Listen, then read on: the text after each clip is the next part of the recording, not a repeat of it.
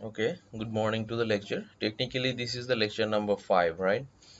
And we have been discussing from lecture three uh, about the uh, sub uh, surface exploration or you can say the soil explorations. So few class last few classes we have discussed about the surface exploration reasons or necessity overviews and depths and boring depths this uh, discussion we did uh, maybe in lecture uh, 2 right? Uh, lecture 2 or lecture 3 maybe. Okay. So this is yes sir. so today's class would be lecture 6 right?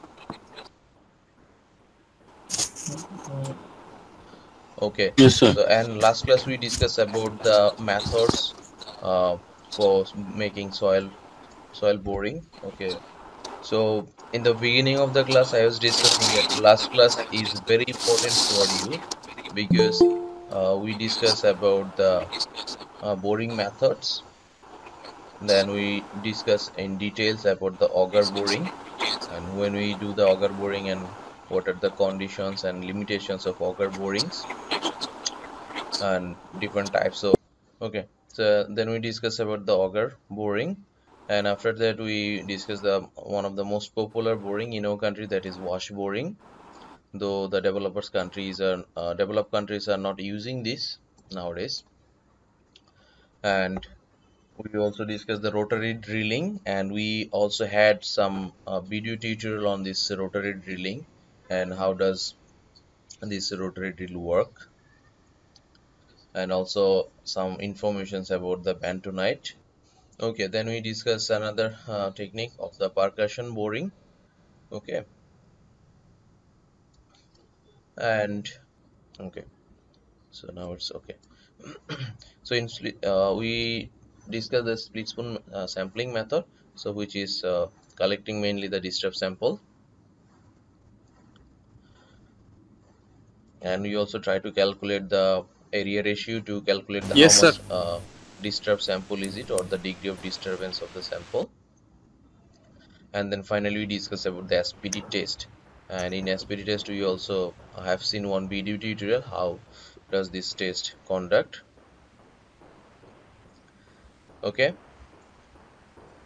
So up to previous class is clear. Please uh, keep in mind if you do not have the clear concept of the previous class so today you will be in trouble little bit of trouble. Because uh, today this is just the expansion of the previous class. So that's why please study the materials and for your better understanding also we just making backup recording. So whatever you like you just review it. Okay. So there are some factors actually that uh, affect the SPT hammer. So we know that uh, value of n in SPT test we count from the number of blow right? Hammer blow and this is the one important parameter. By using this parameter we can find so many correlations with the soil strength with the soil uh, relative density right? Soil consistency. So by using this n value we'll try to find out the all the relevant yes, properties of soil. Okay that uh, we can draw or we can extract. Because this is the only value we are having from the site right? In SPT test apart from the sample. Are you getting the concept? So by using this by using this n value we'll try to develop everything. So that is our intention. So but this n value have some factors right? So how does it uh, affecting or what are the factors uh, affecting this n value? Like first of all the hammers. Yes so sir. you know yes, since the n yes, value is mainly the hammer uh, blow so if the hammer efficiency is not accurate so that time we are having some error. So that's why several factors are considered here. So first one is the you can see SPT hammer efficiency right? Yes sir. Can you see this? And second one is the borehole diameter. Third one is sampling method. And last one but not least uh, uh, that is rod length right? What is the depth you are going with the hammer uh, the during the testing? So that would be the rod length. So we'll discuss in details for every case. But here you can see the hammer efficiency can be expressed like that. So actual hammer energy to the sampler divided by the input energy okay and multiply with 100 that is you are getting in percentage okay. So what does it mean? How much energy actually you are getting to the sampler and how much energy you are giving to the energy so if you just make the ratio of it you are going to get the energy efficiency or that's the percentage of efficiency. So in case of input energy we can calculate simply. Like we know the weight of the hammer right? So in kilonewton it is like that okay? And uh, height of the drop that is considered in millimeter. So finally we can say the input energy would be like that. But for actual hammer energy we need different technique to calculate. So that's why uh, it's a lengthy process. So that's why uh, some of the research study we can follow. Okay? So in yes, the sir. field the magnitude of er can be vary from 30 to 90 percent. 30 to 90 percent. So it's very interesting that you are hammering but you know the hammering efficiency is varying from 30 to 90 percent but you are you are considering okay i'm blowing uh, one two three like this but due to some setup due to some other factors the energy of hammer is not uh, efficiently acting on the anvil or efficiently acting on the sampler so that's why Okay. you need some adjustment on this n value Okay. which value n value hundred so this is the raw which I give n uh, value on the hammer. No hundred percent is not you can give. This is 30 to 90 percent is the efficiency we are talking about. Efficiency. So so if you consider input energy is the theoretical input energy right? This one.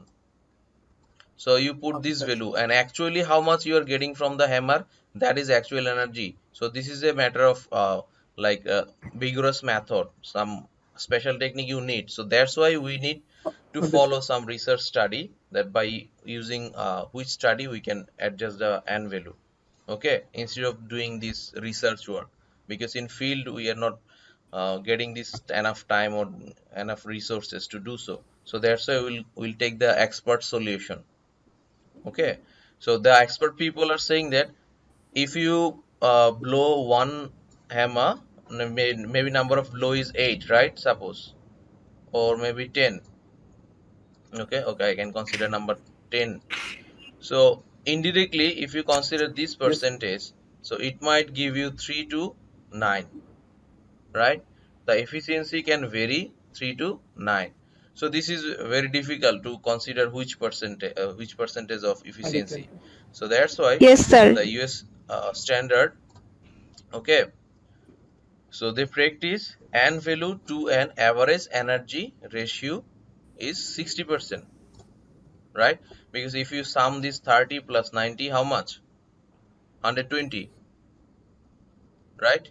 And divided by 2 it would be 60 so that's why in Yes, uh, Yes, sir. US Yes, sir. they follow the 60 percent.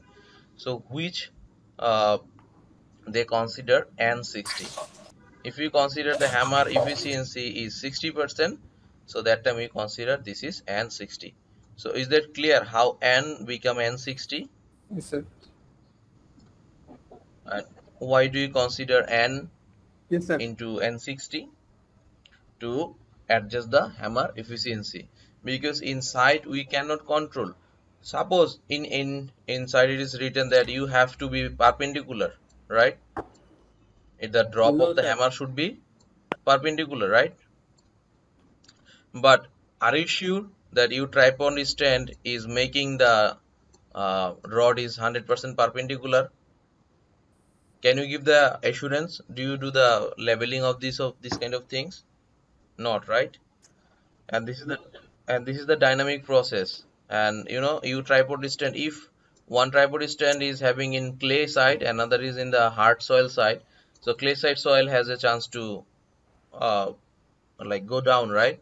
Settle so so many factors are there. Yes, sir. so that's why hammer uh, efficiency varies. 30 to 90 percent. So usually people consider 60 percent of the efficiency like Yes, sir. 60 percent Yes, efficiency Yes, of the hammer. So if you have like 10 number of blow you consider 6 you understand? So now the standard n60 if you consider the correcting for the field procedure and standardize the field penetration number. Field penetration number is n right? As a function of the input driving energy how much force we are giving and its dissipations around the samplers into the surrounding soil. Dissipations means what? The wastage of energy. Suppose you are you are blowing one blow of hammer but it is not 100% okay. It might be wasting some energy during the blow right? Maybe due to the, some friction due to the some other factors of the member. So what are the factors they consider? They they consider the hammer efficiency. Yes. Yes, sir. they consider the borehole diameter factor. They consider the sampler correction factor. They consider the rod length. So these are the few factors they consider to adjust the n60 because in practical case you can directly consider as i said like okay if n is 100 if you consider the hammer efficiency is uh, 60 percent it can be 6 right? But if you consider directly like this so it's also it might have some error.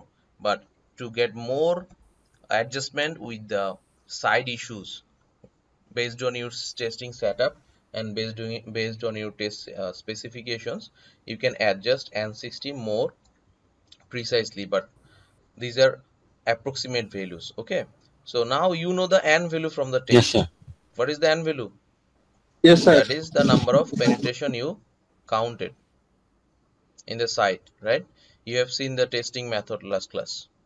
So you count the n value of last two penetration of 100 mm right you remember or not? Okay.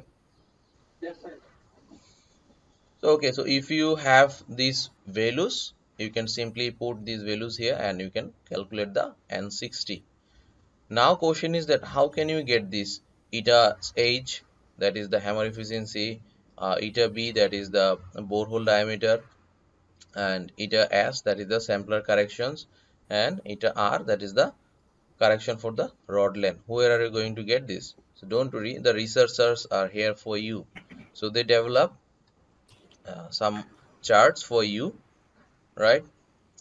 So these are the two research group seed and Skempton these two researcher group develop the uh, factors Okay, values for you for different types of diameters different types of hammer different types of borehole uh, uh, uh, sorry soil samplers and the rod length okay so in next slide we can see this also so just keep Yes, in sir. mind this formula right Yes, sir. Yes, sir.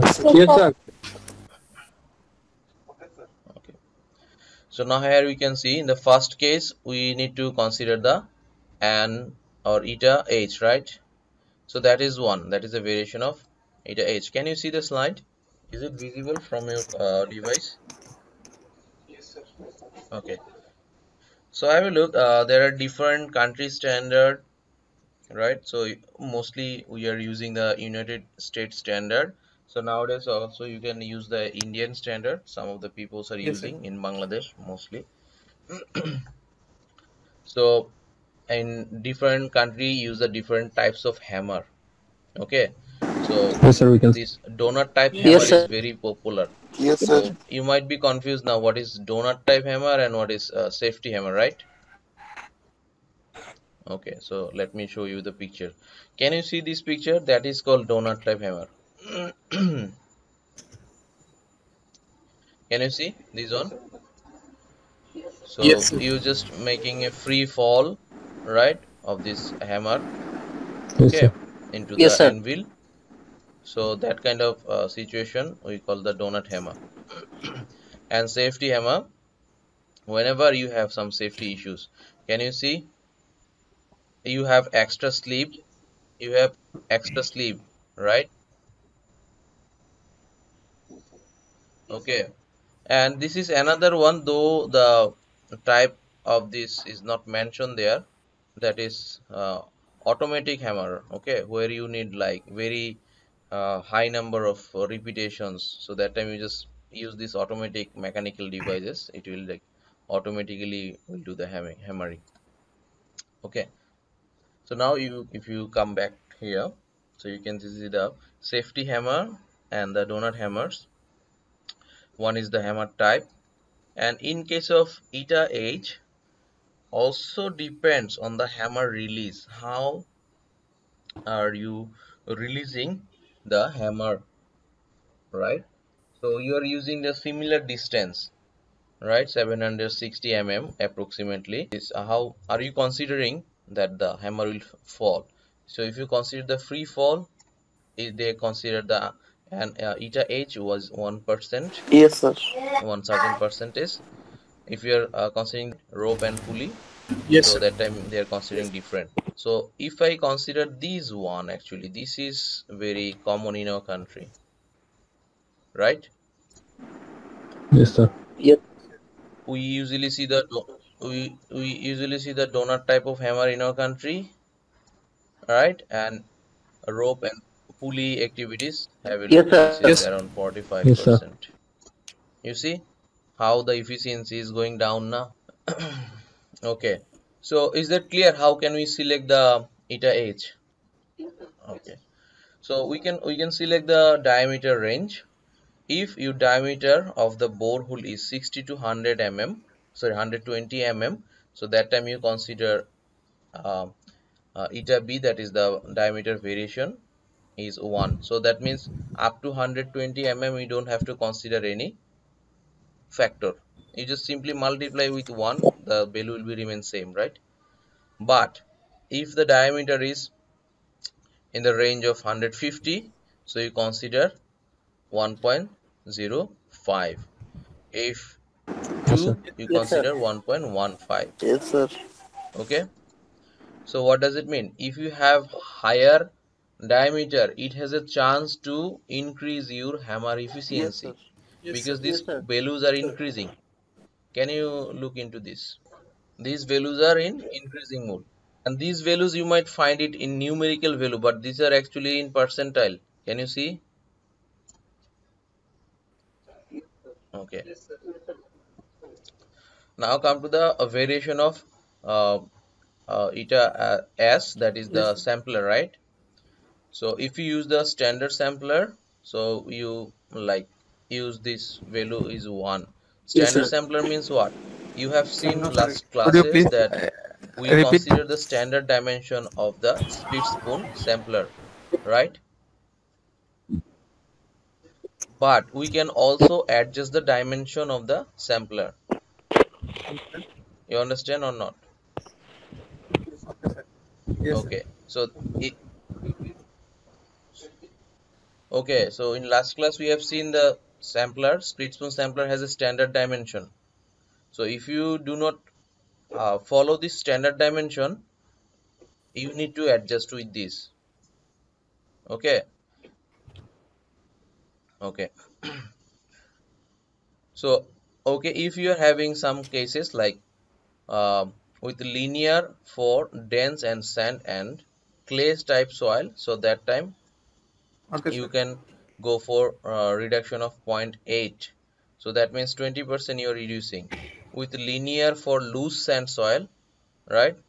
So for that you just multiply 0.9 so it is 10% reduction factor. Okay. And in case of eta r that is rod length if it is more than 10 meter sorry it is more than 10 meter so that time you don't have to adjust the eta r. But if it is 6 to 10 meter range you need to adjust. Why you need to adjust? Because whenever your rod is less in length right? So Yes. you have a higher Yes, sir. chance to uh, like uh, higher chance to reduce the efficiency. Are you getting the point so you might have like So shorter that length means most of the so value you might have uh, a higher from chance to uh, table. reduce the efficiency of the hammer. Okay. So Yes, if you apply Seven these uh, four factors on Okay, this uh, formula so you can easily calculate the n60 so now this very important point that is we can correlate this n60 value with the soil properties. So that is really uh, important for us that what uh, why are we doing this test? To know these values actually. Yes, our intention is to get the soil properties right? To know the soil properties. So if you can see these correlations by these correlations we can find out the many of the properties of soil by using these n60 values. Okay? So in the very beginning if we look into the formula of consistency index right so we can see this consistency index can be calculated like this where uh, we consider the liquid limit uh, difference of liquid limit with uh, natural moisture content right and divided by the difference of liquid limit with the uh, plastic limit. Okay so these way we can find out the consistency index. So this formula they try to correlate with the n60 value the researchers and they develop one correlation chart for you. Okay. So here you can see from this uh, consistency index and n60 value you can N60, we can also N70 and 80. get some idea about approximate strength right? Approximate compression strength of the soil which is also important for us. Actually we are trying to find out the bearing capacity of soil right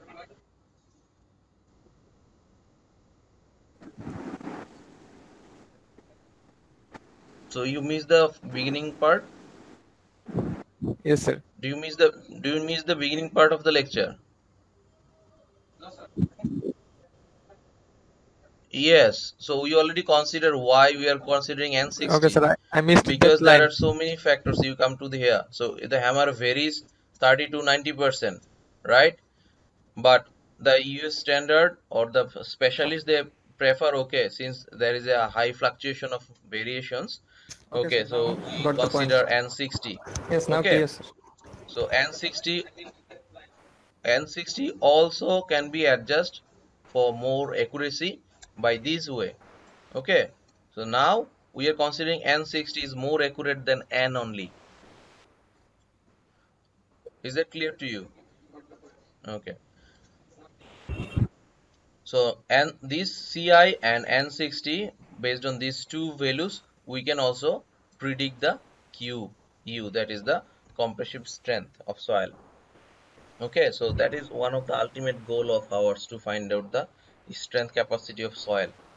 So these are uh, approximations uh, correlations between uh, ci and 60 and qu right?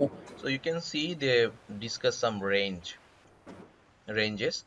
Like standard penetration number if it is less than 2 or up to 2 so we consider the soil consistency is very soft. We consider the soil consistency is very soft. Right? And that time we find the consistency index is 0.5 and the strength of the soil or the compression strength of this particular soil that Yes, is unfined condition it would be kilonewton uh, 25 kilonewton per meter square less than 25 similarly you can look into 20 uh, 2 to 8 right? Can you see the things? Okay. So for uh, if you find that n60 is 2 to 8 you can say the consistency soft to medium and these ways the strength is going uh, higher. So there are some range they specify so now if i give you some n value okay if i give you the n value from the field test and if i say okay can you tell me the value of ci and qu can you find it? Yes, sir. right? So you better practice.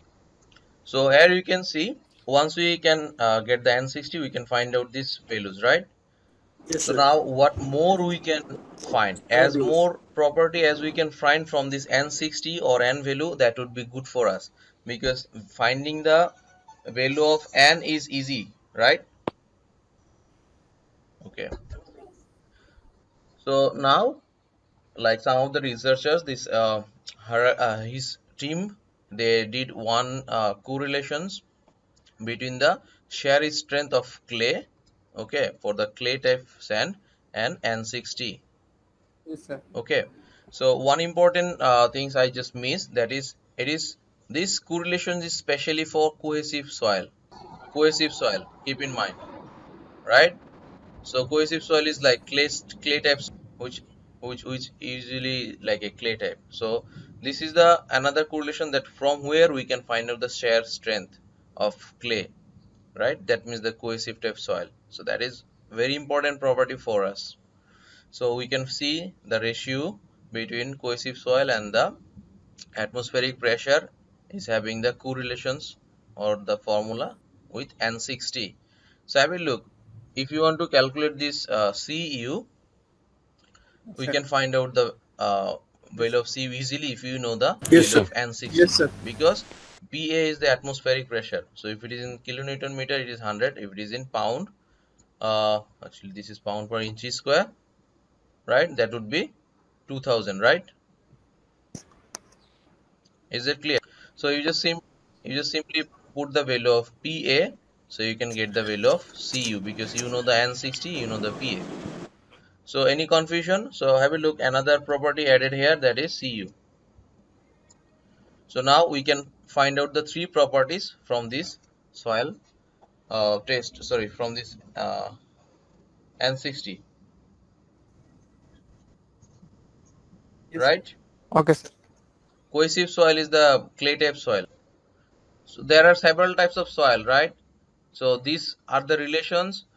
They develop with the cohesive soil testing. So we'll, we'll go Okay, also co cohesionless soil also like the granular soil. So these are the formulas and relationship they studied in their research with the cohesive soil. You understand? So these are the values developed for the cohesive type soil. So you already see I discussed these one right? And parallelly we can also do the relationship with the consolidations ratio that is OCR over consolidations ratio. Okay so over consolidations ratio of the soil also we can find from this uh, relationship. So this one is uh, done by this research group in 1988 so one value is Yes, there that is the effective vertical stress in kilo uh, mega uh, megapascal actually right so if you just have the effective vertical load that is coming to the soil so you can find out the over consolidations ratio. Maybe you did over consolidation uh, ratio test in the lab right? So you see you did this test in the laboratories but if you know the n60 values from the spt test and you know the vertical stress of the soil so you can directly find this over consolidation Yes, ratio. That is approximate though right so cu ocr and n60 is, is only approximate. We know because n, n, n is coming from n60 is coming from the n value right? And so many factors we are considering to calculate the n60 so this is also approximate.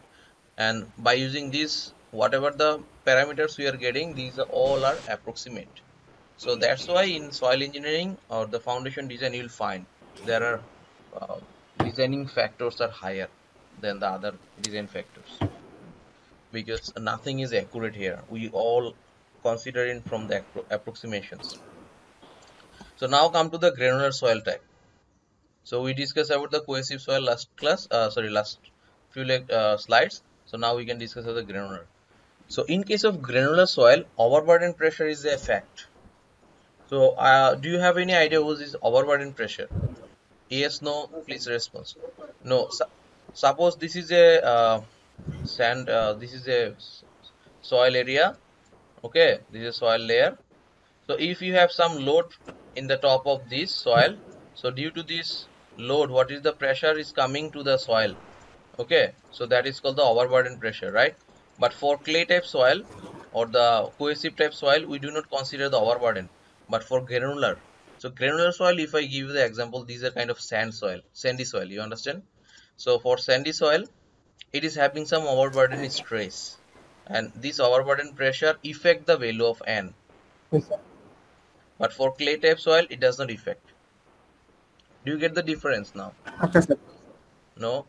For clay type soil for clay type soil Okay, sir. if you even have some Okay, on the soil No, it no. produce the overburden pressure. So they do not affect the value of n in the clay type soil. Right? But when it is the granular soil or sandy soil so Yes, this overburden pressure affects the value of n okay? Yes, sir. so the value so so the value of n obtained from the field exploration under different effective overburden effective that means active overburden pressure right should be changed to the corresponding to standard value. Okay standard value of n you can say. So have a look.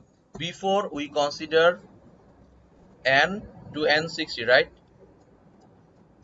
We consider n to n60 now while you are coming to the uh, granular type soil and you are having some overburden effect. So that time you need to consider n2 n62 n160 you understand?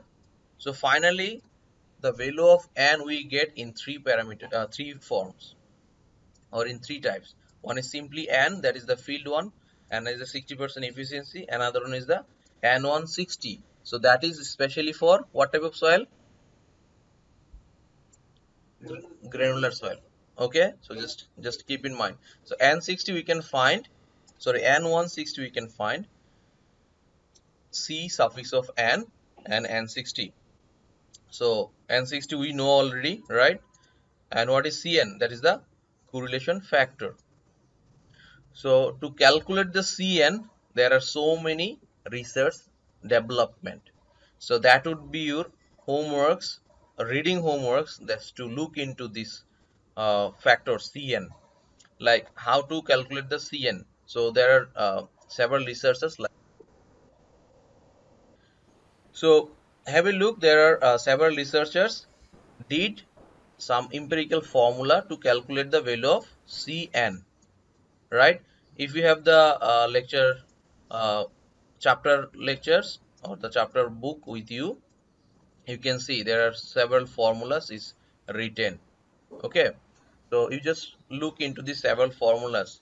Maybe i may mention in the exam okay by using this Skempton's relationship try to find out the uh, n160 right? Or may i may mention okay uh, by using the Peck Yes, and Yes, its group research try to find Yes, out the n60 and then calculate the n160 right?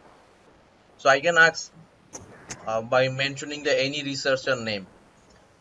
Is it clear? I can i can say that okay by using the uh, relationship of Seeds and his group first calculate the cn that is the correlation factor Okay, and then calculate the uh, n160 so you can do it. So you can look into the reference book. So you'll find it and if you have any confusion about these formulas so we can discuss in the next class also. Okay? So these are just formula. You just need to uh, input the some parameters and then you'll get the cn. And if you get the cn then you can easily find out the n160 okay? So i think time's up. So for today up to this. And maybe end of this chapter we are going to take a class test so please try to review the lectures before Okay, sir. Okay, sir. discuss the class 2 classes Sir. okay and today's class and and another class might be needed to complete this chapter one hour class might be needed to complete this not chapter complete this uh, session okay Okay. So thank you guys.